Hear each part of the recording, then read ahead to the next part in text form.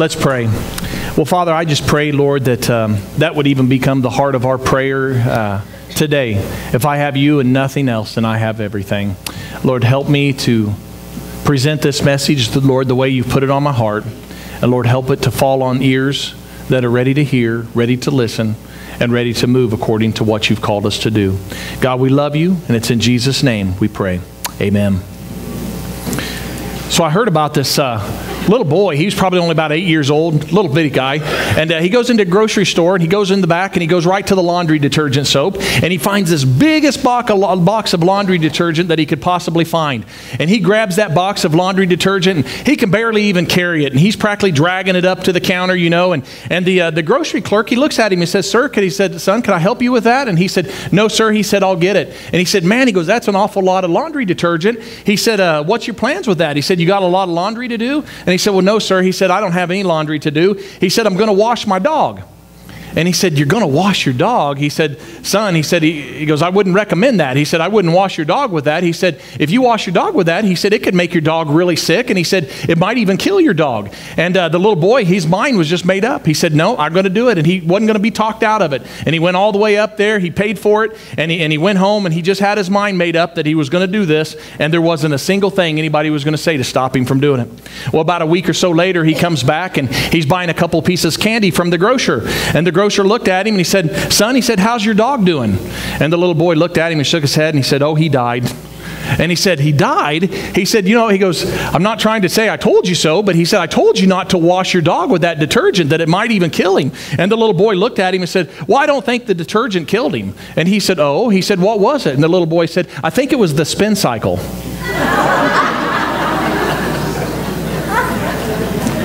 okay.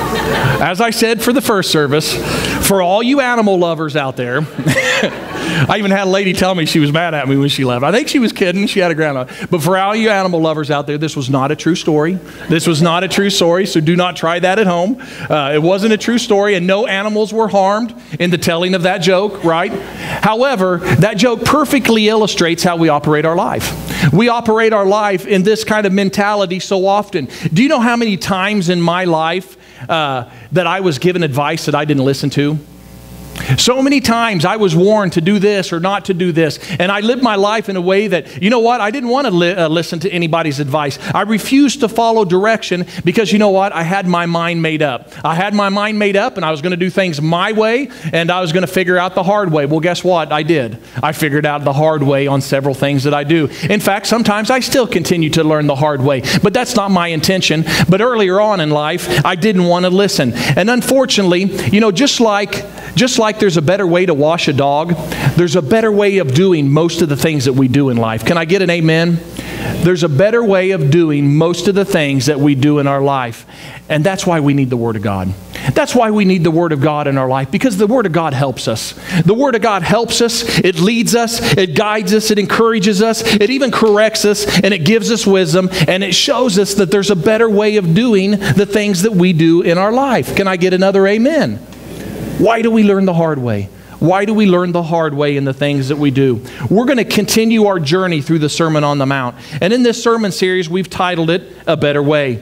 And then throughout this whole series, I encourage you, if you've missed any of them, go online and check it out and try to get updated because Jesus challenges us. Man, He challenges us in so many different ways. He challenges us right, right out of the chute in the Sermon on the Mount with the Beatitudes. The very word Beatitudes, when He talks about blessed are the poor, blessed are the humble, when He goes through all that, the very word blessed means approved by God. He's showing us as disciples of Christ how we can be lifelong students that gets his approval. And you know, as a disciple of Christ, as a Christian, we should want the approval of God. Amen. And that's what he shows us. So he challenges us throughout the Beatitudes in so many different ways how we can live a, a lifelong life of being approved by him. And then he challenges us in different ways. He moves on to talking about how we can be different in the world that we live in and how we're supposed to be salt and light in this world. And the reason why we're supposed to be different is because He wants your lost family members. He wants the people that you work with that don't know Jesus. He wants the people that we come across in school and on a regular day basis. He wants them to know Him. So if we're not salt and light, if we're not making uh, people uh, crave Jesus, if we're not looking any different, then people aren't going to know Him. So He challenges us to be different and being salt and light. And then you know what? Jesus goes on from there if He hasn't stepped on our toes enough, and He moves in and He gives us a clear picture when it comes to murder, when it comes to anger, when it comes to adultery, when it comes to lust, when it comes to marriage, when it comes to divorce, when it comes to revenge, when it comes to forgiveness, when it comes to going the extra mile, when it comes to keeping our promises, when it comes to people being, being people of integrity.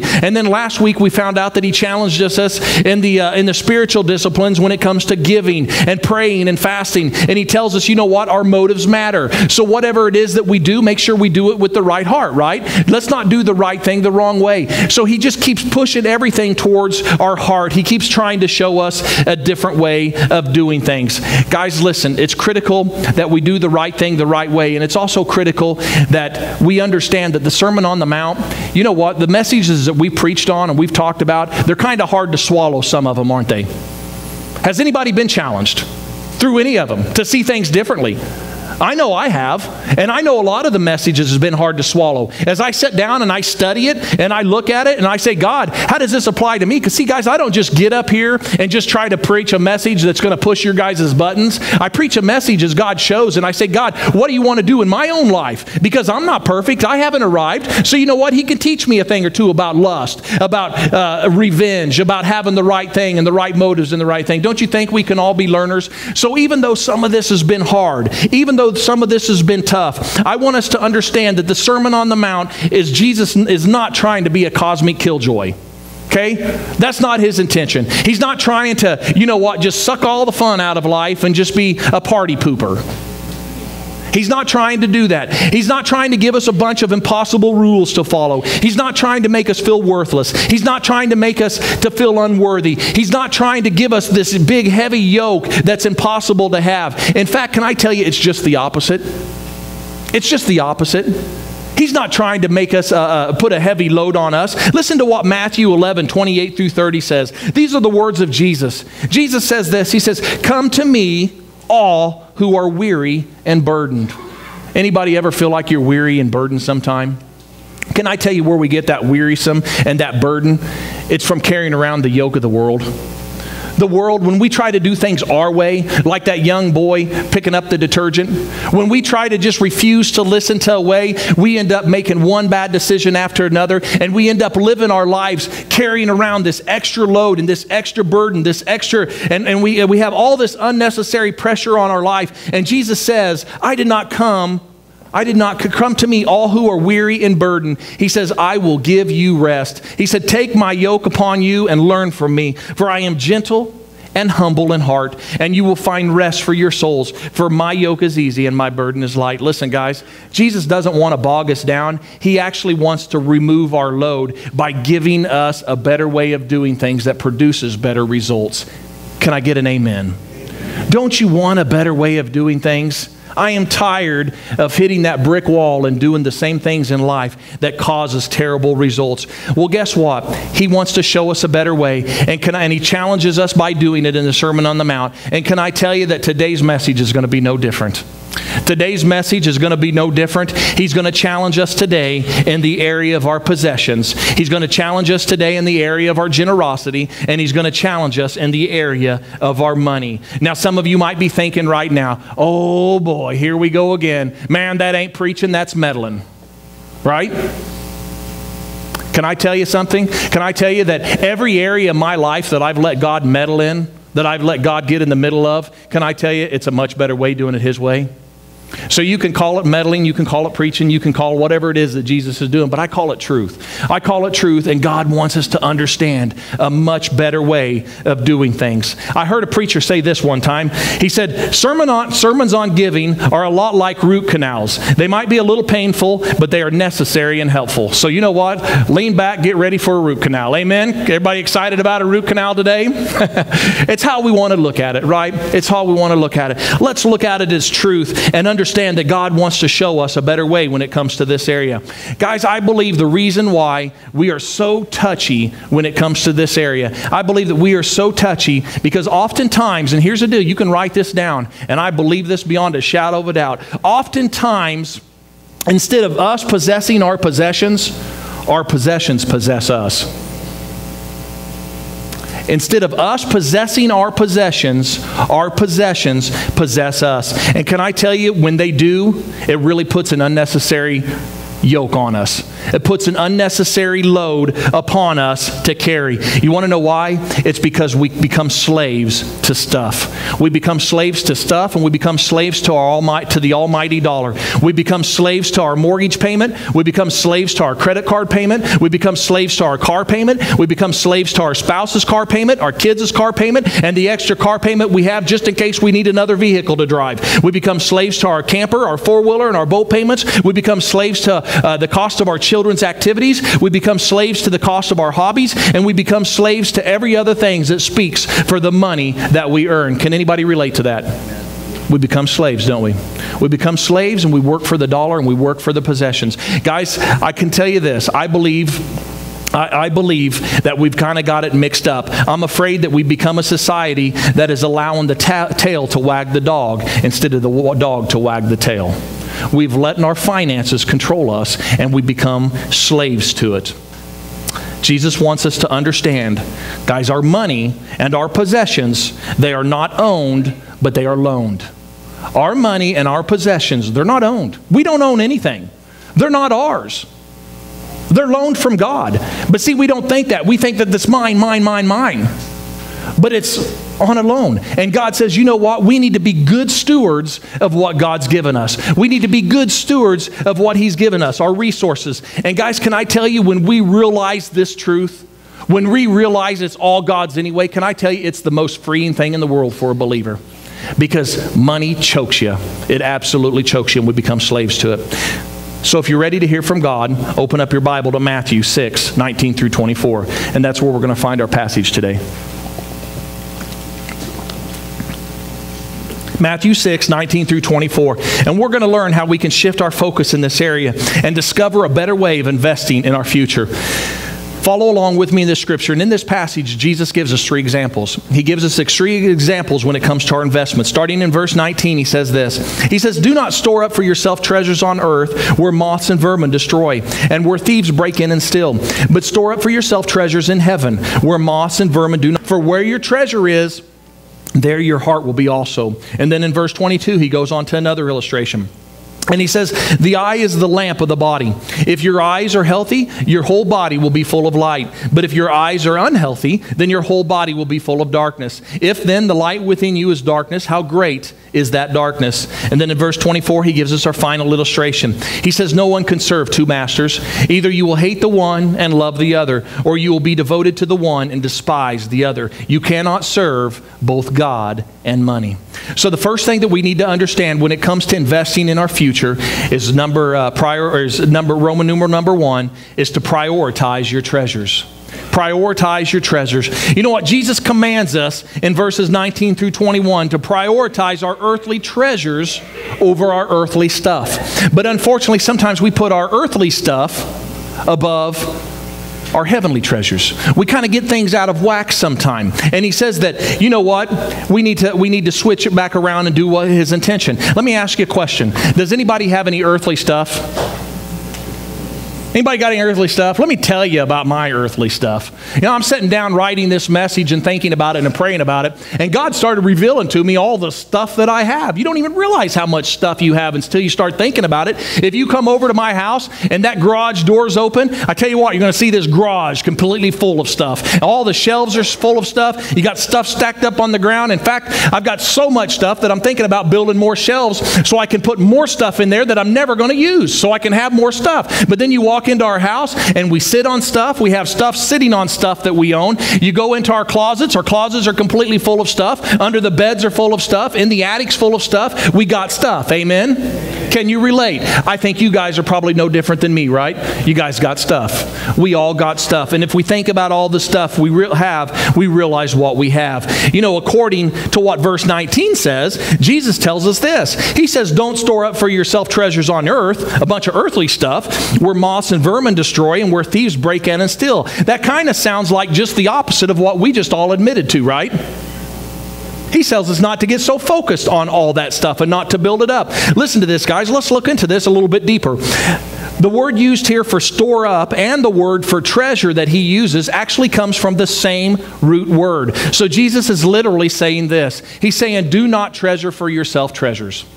That's what he's saying. He's saying, do not treasure for yourself treasures. In other words, don't be so focused on stockpiling a bunch of earthly stuff that you lose track on what's truly important. That's what he's saying. Don't be so focused about accumulating all this stuff that we end up stealing our focus away from what's truly important, and that is building God's kingdom. Okay? So, does that mean we shouldn't have nice stuff? Does that mean we shouldn't have nice stuff? Does that mean we shouldn't have nice houses? Does that mean we shouldn't have nice cars? Does it mean that we shouldn't bother with having a savings account? Does it mean that we shouldn't invest in retirement or plan for the future? Does it mean that we shouldn't uh, put a little money away for tough times? Does it mean that we shouldn't put a little money away for fun times so we don't have to tap into the credit cards? Can I tell you, I don't believe that that's what Jesus is talking about. I don't believe that Jesus is saying that you can't have anything. I think the Bible is very clear when it comes to saving money and providing for the family. I think you can see all kinds of scriptures that Jesus says, you know what, we should save money. We should provide for our family, not just now, but also in the future, right? We're supposed to leave our children a heritage. We're supposed to uh, provide for them now and for also later. We also see in scripture that the Apostle Paul even indicates that we can enjoy what the Lord has given us. So I don't believe that that's what Jesus is talking about. I believe that Jesus is talking talking about stockpiling treasures on here, here on earth for selfish motives, for selfish reasons, to have all this stuff accumulating. When we put our focus on all this stuff, it takes our focus off of what God can do with us if we build the kingdom of God. He wants us to have the right attitude. Has anybody had the uh, seen the bumper sticker with the attitude of whoever wins with the most toys wins or whoever dies with the most toys wins? That's what he's talking about. It's having the wrong attitude when it comes to accumulating stuff. Listen, guys, Jesus doesn't want us to be so focused on our earthly bank account that our heavenly bank account is bankrupt. He doesn't want us so focused on our earthly bank account, our earthly stuff, while we're sitting here with our heavenly bank account broke. I wonder today how many people in here have a really fat earthly bank account but they've not earned anything when it comes to their heavenly bank account. See, we got to get our priorities in the right place. Amen? That's what Jesus is saying here. Let's have the right focus. Jesus wants us to prioritize our treasures. He wants us to invest in something that's going to last forever and not just something that's temporal. You see, in Jesus' day, you know what? Bank accounts didn't exist. They couldn't walk across the street or go down to the local bank and put money in there. They didn't exist. So Jesus actually illustrates three, three temporal ways that people would accumulate wealth. The first way that Jesus addresses here is people would collect clothes. They would collect clothes. You know what? If they had a closet full of nice clothes, it was as good as money in the bank because these people would stockpile clothes, they would accumulate all this clothing, and then they would end up selling it in the future. Let me ask you a question How many of you today have stockpiled clothes? right? I guarantee you, with the seven people in my family, if you would go over to my house, we've got more clothes than we know what to do with. Each one of us. I guarantee we got more clothes, more shoes. How, how, many shoes do you need for how many different outfits, right? Depends on whether it's before Labor Day or after Labor Day or whatever all that stuff is. But we got more clothes than we possibly know what to do with. We got so much clothes in our closets, we probably have stuff that we haven't ever wore before. And if we have, maybe we've worn it once or twice and maybe never again.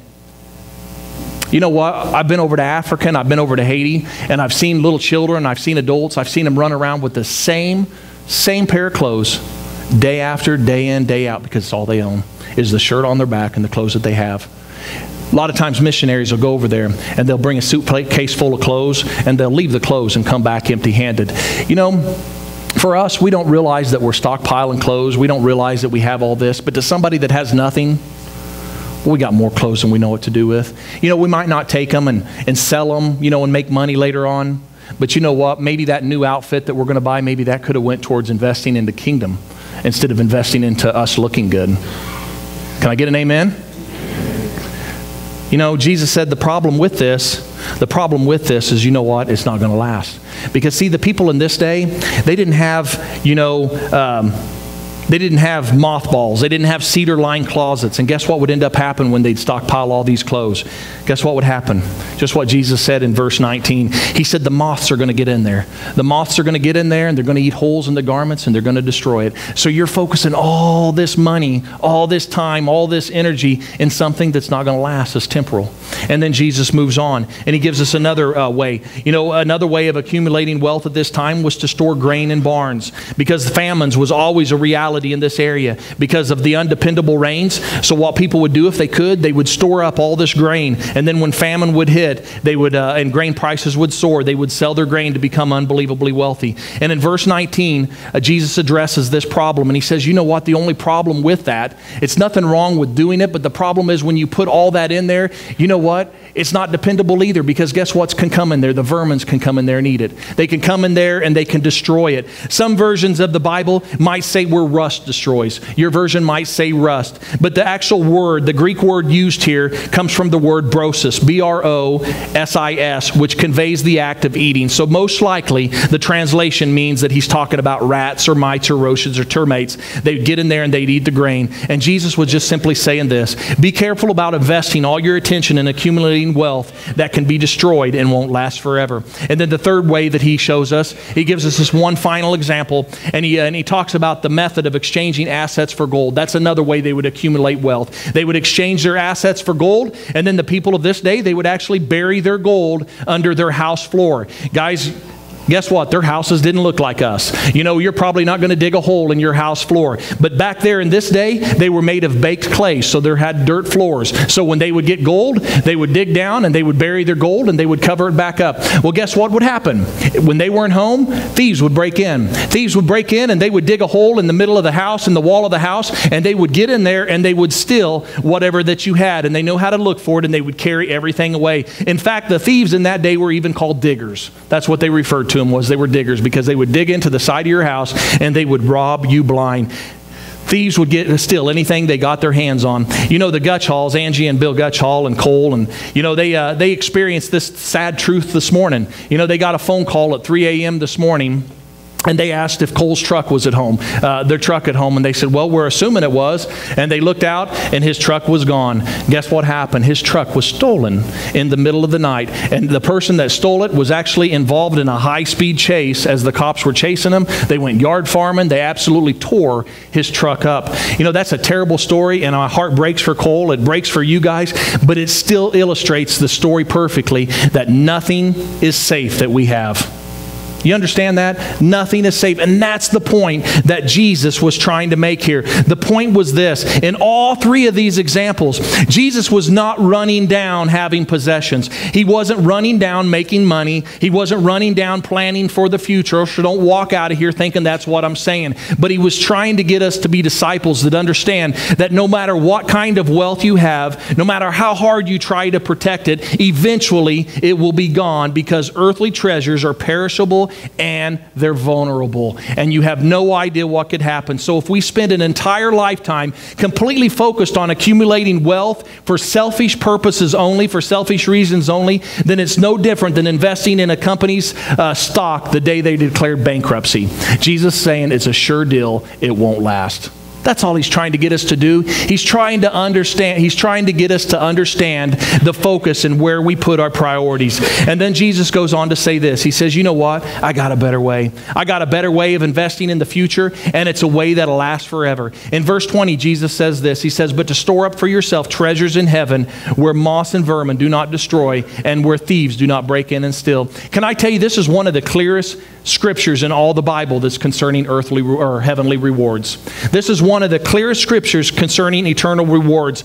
The word store up here is the Greek word for, and it's a command, and it's also a present tense, meaning this Jesus is, Jesus us is commanding us to make storing up treasures in heaven our focus of our everyday life. It's something that we need to constantly strive for. It's investing in God's kingdom. It's investing in other people. It's not letting, it's not that nice things aren't okay to have. It's don't let them control you. It's don't let them run you. You know, be, we need to be uh, focused on investing into others and investing into building His kingdom. You want to know why? Because it glorifies God. It glorifies God. When we invest into God's kingdom, it glorifies Him, and He wants us to keep and enjoy our treasures forever and ever and ever. Don't you want your treasures to last forever? He says when we invest in His kingdom, they'll last forever. And since heaven is the only place your treasures will be uh, safe, He commands us to store it up for your good and for His glory. But you know what the biggest problem is that we face? With our treasures, the biggest problem that we face with our treasures is we want an immediate gratification. Isn't that right? That outfit makes me look good, though, right? And that car I drive makes me look good. We want an immediate gratification from our treasures. We want things uh, we want to spend our money on something that we can receive right now, something we can see right now, something that we can have right now, something that we can enjoy right now. And investing in our eternal rewards, you know what? It's different because it might be something that we don't experience right now. It might be something we don't experience right now. We can't see them right now. We can't have them right now. It's a delayed gratification. Let me give you something to think about for just a moment. Suppose each one of you today I gave $1,000 to you today on your way out and said you can have it to spend any way that you want. Would you think that you had the best pastor in town? Come on now, if I gave you $1,000, would you think you had the best pastor in town? Every single one of you would like that, right? But what if I told you this? Okay, you could have $1,000 right now today to invest however you wanted. However, if you left the $1,000 and you walked away from it, then I'd give you $10 million a year from today and I'd give you $10 million every year following. Would you take the $1,000 today or would you wait? You'd wait, wouldn't you? Most of us would. I couldn't imagine anybody taking that $1,000 today for that. Guys, here's the deal. This is what we do every single day when we focus our life completely on accumulating stuff selfishly that's only going to last for a moment. Jesus says, You know what? I've got something so much better. It's a delayed gratification. You might have to wait just a little bit, but man, it's going to last forever. It's going to last so much longer, and there's so much more value. And then Jesus says, Whatever your treasure is, um, what, whatever, whatever uh, whatever your treasure you spend your life focusing on, there your heart will be also. Jesus ends this command by saying in verse 20, Where your treasure is, there your heart will be also. You see, if some of us wrote this, including myself, we'd probably flip that around. We would probably flip that around where it read, Where your heart is, there your treasure will be also. Because we have a tendency of thinking this. We have a tendency of thinking that the most important thing that we have is that we feel good about doing something before we do it. And you know what? If we feel good about it doing it, then we'll do it. And if we don't feel good about it, then we're not going to do it. And we stop that. But you know what? Jesus said it actually works just the opposite. He said it works just about the opposite. In fact, everything that he said has been completely opposite of what the way that I think. But he says it's just the opposite. He says when you invest your time, your money, your energy in the right thing, then your affections are going to follow your investment. He's telling us that our emotions will follow our motions. In fact, motions create emotions. Interest creates, or investment creates interest. So based on what Jesus is saying here, he's saying one of the first steps to investing in eternal future is to do something for his kingdom with the right attitude, even if emotionally you don't want to. Even if you're not just sold on the fact, you know what? If you step out and you do it with the right heart, you know what? You're going to find out that giving's fun.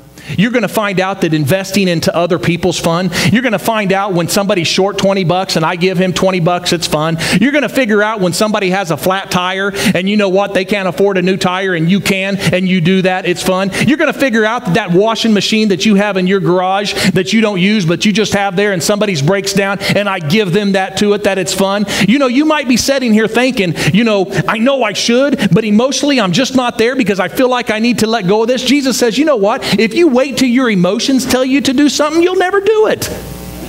Don't wait for your heart to be right. Just step out with the right attitude. And when you do, your emotions will follow. Your emotions will follow. That's why Jesus said, Where your treasure is, there your heart will be also. So if I'm giving my treasures to other people, I'm going to understand I like this. And guess what? My excitement and my emotions will follow me Don't wait for you to feel good about something. You know what? Maybe Jesus, maybe God's telling you to step out and start tithing. Maybe He's telling you to give extra to the building fund. Maybe He's telling you to give to a ministry. Maybe He's telling you to start a ministry. Maybe He's telling you to invest into other people. But whatever it is, don't wait for your heart to tell you to move. Just move. Start putting your treasures in the right place. And guess what? Your heart's going to follow. Your heart's going to follow. Jesus said if you want to invest into your future in a way that'll last forever, number one, prioritize your uh, prioritize your treasures. And number two, on your outline, don't be stingy, but instead be generous. Don't be stingy, but instead be generous.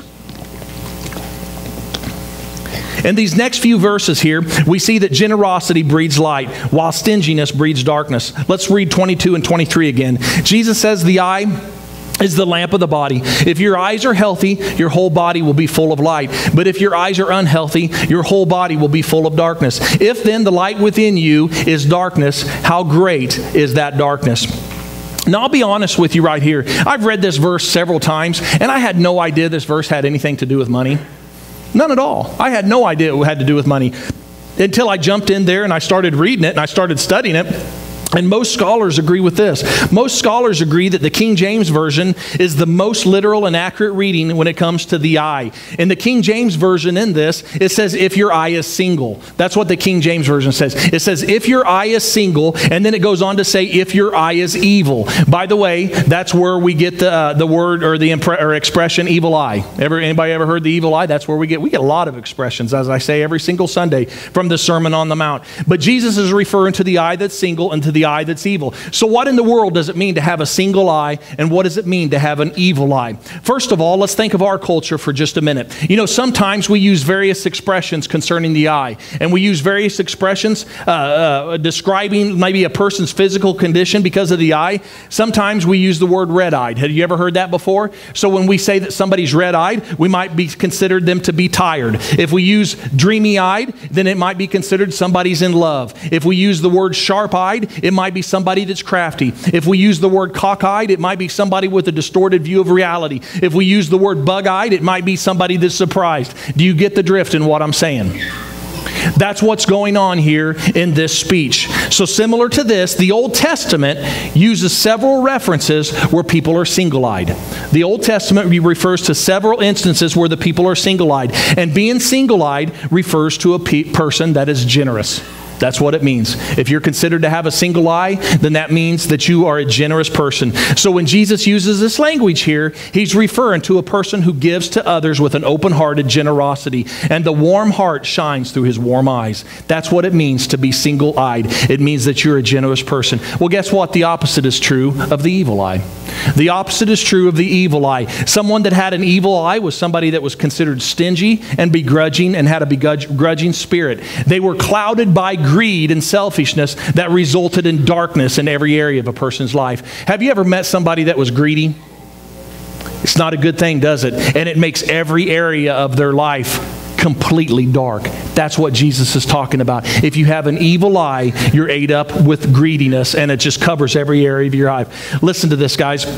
The same speech, the same, uh, the same wordage was used in the parable of the generous vineyard. Do you remember that parable? Does anybody remember that? In this parable, Jesus, uh, the, the vineyard, he hires some guys early in the morning and he says, Hey, I need you to do this and this job. And throughout the day, he ends up hiring different people throughout the day. And by the end of the day, like an hour before quitting time, he hires some more people and they end up working. So at the end of the day, he's getting ready to divide up the wages and to give everybody their money. Well, guess what the, the, the, uh, the generous landowner owner did, the vineyard owner did. He gave everybody the same pay. Everyone. Even the people that worked there just an hour got the same pay as people that worked there all day long. And guess what? The people that worked there from the very beginning of the day happened to them. They got mad. They got furious and they complained. Even though they had agreed to work for that amount, they were mad because greed had got in there and it took over them. And they were very, very mad because they wanted more money and they wanted the other people to have less money. And in Matthew 20, 15, the owner said this He said, Is your eye evil because I am good? Is your eye evil because I am good? These people had an evil eye. Jesus makes it clear here in this verse. If you look upon things on this earth with a generous perspective, your life will be useful. However, if you look upon things on this earth from greed in your mind, then you know what? You are absolutely wasting your life. Listen, guys, generous people, you know what? They give themselves of their money and their time, and you know what? They take care of people that have a need, and the result of that is they experience joy in this life and the life to come because they understand they're building up rewards, not just for here, but for later on in eternity too. So let me ask you a question. If you were facing Jesus right now today, do you think Jesus would consider you to be somebody with a single eye? Or do you think he would consider you to be somebody with an evil eye? Are you a generous person or are you a greedy and stingy person? Listen, guys, when we finally grasp and understand heavenly treasures and we understand how God's kingdom works, then you can afford to be generous no matter how much or how little you have because you got the right heart and you're trying to help people out. Because you're going to realize that earthly stuff is just temporary, but our generosity will last forever. So in this passage, Jesus tells us to choose between two treasures, He tells us to choose between two eyes, and in the final portion, He tells us to choose between two masters. You see, investing in your future that lasts will require, number three, to put God on the throne of your life to put God on the throne of your life. Jesus wraps up this portion of his message by telling us that it's impossible to serve both God and wealth. It's impossible. Verse 24 says this No one can serve two masters. Either you will hate the one and love the other, or you will be devoted to the one and despise the other. You cannot serve both God and money. You see, back in Jesus' day, a slave owner could actually rent out one of his servants to another taskmaster, to another taskmaster. And the problem that they would have is it would put that servant in a bind. It would put him in a bind, for instance. What if the two men gave him conflicting orders? What if the two men gave them conflicting orders? Who was he supposed to respond to? Who was he supposed to listen to? Let's bring it up into our today's time. Anybody have you ever worked for two supervisors that couldn't be more opposite? Have you ever worked for two, op- two uh, supervisors that's given you a job and one tells you to do it this way and the other person tells you to do it this way? Is that frustrating? Is that aggravating? Is it impossible to make both of them happy? You can't, can you? You cannot serve both of them at the same time. It can be very, very frustrating. Well, guess what? The same is true in this sense, but it's on a much larger scale. Listen, guys, we all have a throne in our life. We all have a throne on our life, and it's not big enough for two, it's only big enough for one. So here's the deal you either have Christ on the throne or you have money on the throne. It's just that simple. You either have Christ on the throne of your life or you have money on the throne. But it's impossible to have both of them at the same time. And the reason is simple is because I believe that money is one of God's number one competitor. Listen to this, guys. God and money are not employers, they're slave owners. God and money are not employers, they're slave owners, and each one demands a single minded devotion. You can't be full time slave to two masters, it's completely impossible. Here's the deal if you serve God with your whole heart, if God, if you're all in, if you serve God with your whole heart, then the seductive love for money will not control you. If you serve God with your whole heart, then the seductive love for money will not control you. However, just the opposite is true. If you serve the seductive love for money, then it's impossible to serve God with your whole heart. It's your choice. One of them is on the throne. Now, I want you to understand what I'm saying because I want you to have a clear picture of this. Jesus does not say you can't have money. Don't hear me walk out of here and say that money's wrong. In fact, Jesus doesn't even say you can't have a lot of money.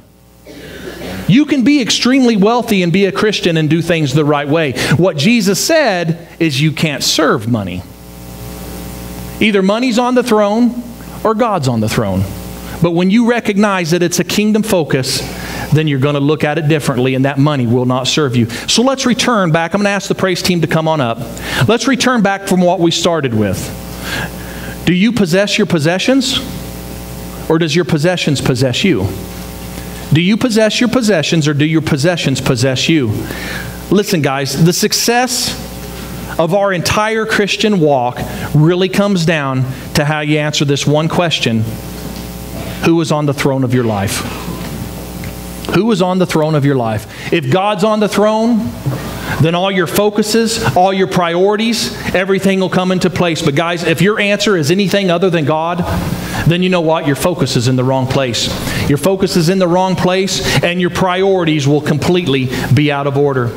Somebody posted this article on Facebook this week concerning our priorities, and I thought it was really good. It's entitled It's Strange. And maybe you've seen it, but I'm going to go ahead and read it today because I believe that we can relate to this. This is what it says It says, It's strange how $20 can seem like such a large amount when donated to a church, but such a small amount when you go shopping.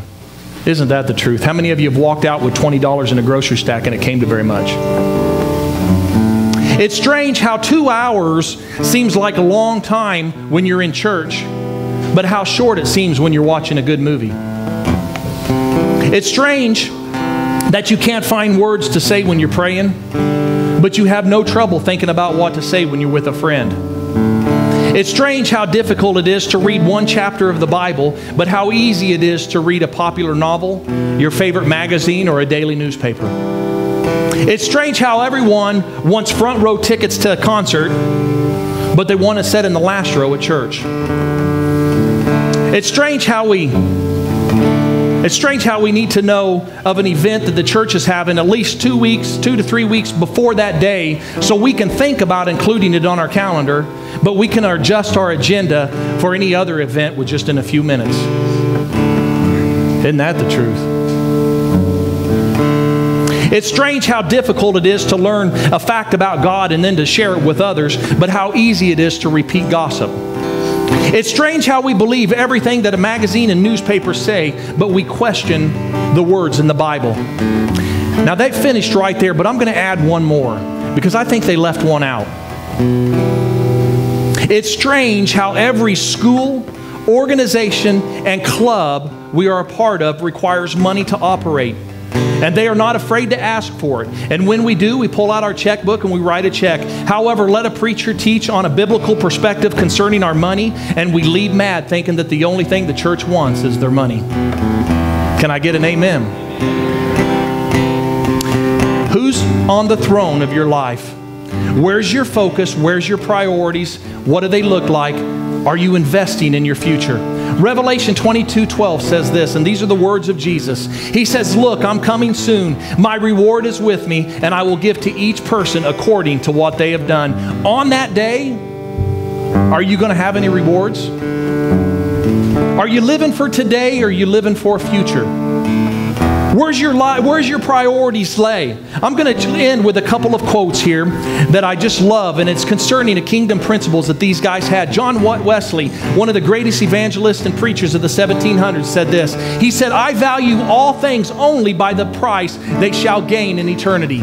I value all things by only the price that I shall gain in eternity. He had a kingdom focus. Listen to David Livingstone. He's the one that blazed the trail for missionaries in Africa in the 1800s. And he said, I place no value on anything I possess except in relation to the kingdom of God. And then Jim Elliot was a missionary that took the, the gospel to remote Indian tribes and he lost his life. And he said this He said, He is no fool who gives what he cannot keep to gain what he cannot lose. These men knew the importance of investing in their future. They had prioritized their treasures. They weren't stingy, but stingy, but they were generous, and they had God on the throne of their life. Will you do the same? I'm going to ask you to stand and rise to your feet.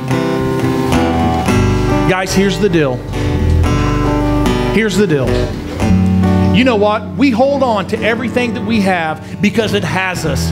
We become slaves to it. And you don't understand. You have no idea when you let go when you let go and it no longer controls you, and you understand that part of building God's kingdom might be a delayed gratification for you, but you know what? To somebody else, it might be an immediate result right now. When you give to somebody else, you might be helping somebody pay their bills that can't afford to pay a bill. When you give to somebody else, or this church, you might be giving to somebody that needs to go to that marriage conference, that their marriage is about to fall apart and they need to go. But you know what? We've taken that money, we've done that. Now, do you understand? Do you get that right now? No, you're going to get it later when you do it with the right attitude and the right heart. When you invest in the right thing, then you know what's going to happen? You know what? People are going to overcome addictions. People are going to let go of the junk that's going on. Marriages are going to get fixed. People are going to overcome things. But you know what? It might not be for you, it might be for somebody else. And when you understand that, when you understand that I have a giving heart and whatever I have is all God's, and He can use it to change people's life, don't that seem like such a better way than holding on to the closet full of clothes that we have, to all the extra toys that we don't need? What if God wants to take your investment and translate it in to that person you've been trying to reach out to?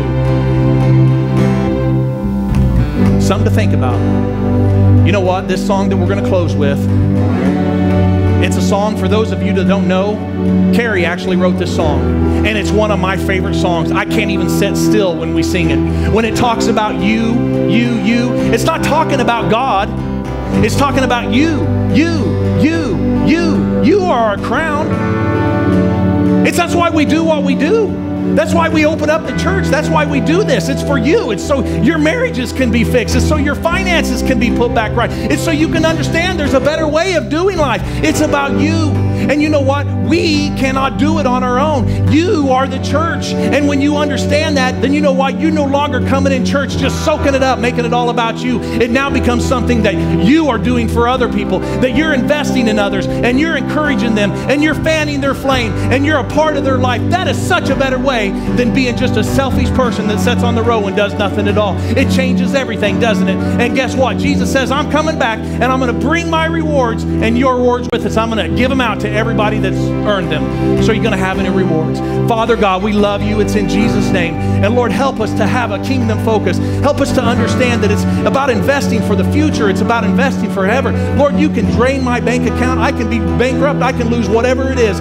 You strip me of whatever it is that you want, God, and I'm going to still praise your name and I'm going to point people to you because I want to have a kingdom focus in every single thing that I do. Lord, help us to be passionate people that follow you and encourage one another and pour our lives into one another and understand that when we give, we're not giving uh, just to let go. It's all yours anyway, it's all on loan. And God, help us to build your kingdom with it. God, we love you. And it's in Jesus' name we pray. Amen.